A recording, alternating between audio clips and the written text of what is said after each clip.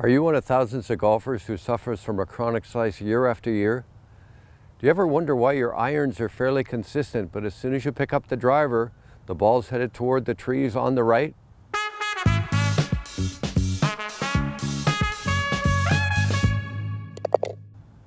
Well, one of the most overlooked reasons for this difference with the driver is the ball position. Every golfer is told that the driver should be played forward in your stance, opposite your left heel. But what happens to your body position as the club moves forward? Well, you can see as I move the club towards my left foot, my shoulders start to open up or aim left of the target.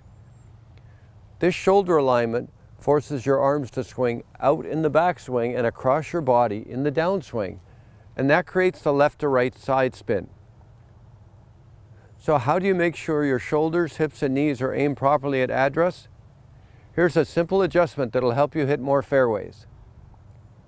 Pick up your driver and hold it directly out in front of your body.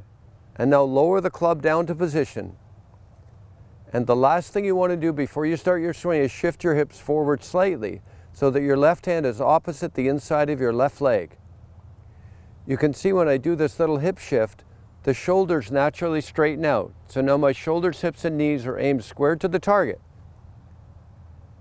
Follow this simple routine, you'll start hitting more fairways, and I'll look forward to helping you take your game to a whole new level.